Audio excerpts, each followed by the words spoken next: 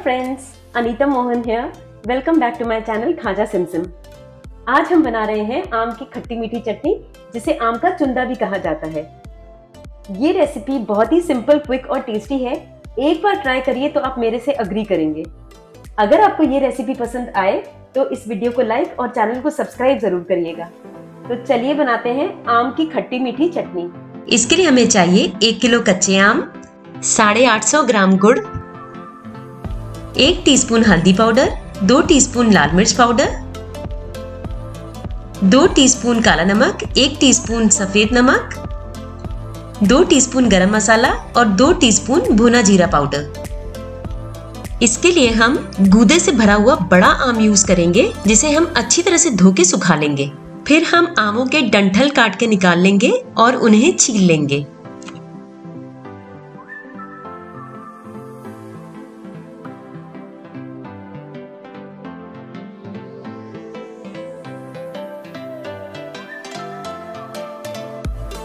छिले हुए आमों को हम कद्दूकस कर लेंगे। कद्दूकस करने के लिए हम बड़े होल वाला ग्रेटर का यूज़ करेंगे, बारीक होल वाला ग्रेटर का नहीं। देखिए, हमने यहाँ सारे आमों को कद्दूकस कर लिया है। फिर हम गैस पे एक कढ़ाई गर्म होने के लिए रख देंगे।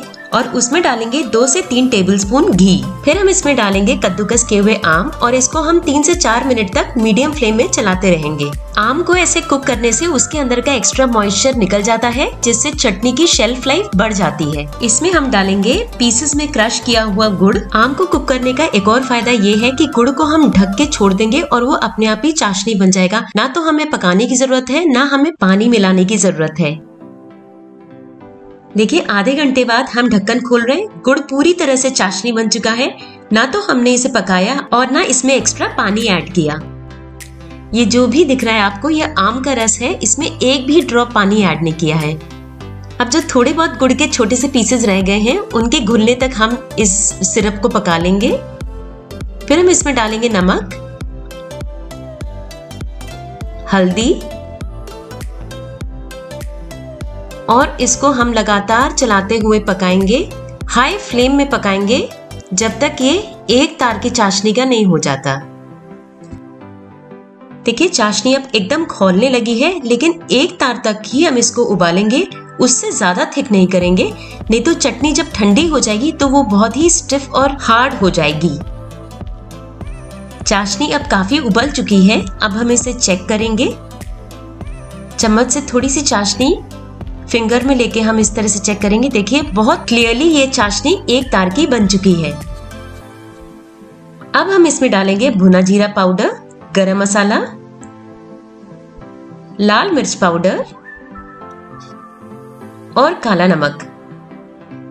इन सबको हम अच्छी तरह से मिक्स करेंगे, जब तक ये चाशनी के संग अच्छी तरह से घुल ना जाए।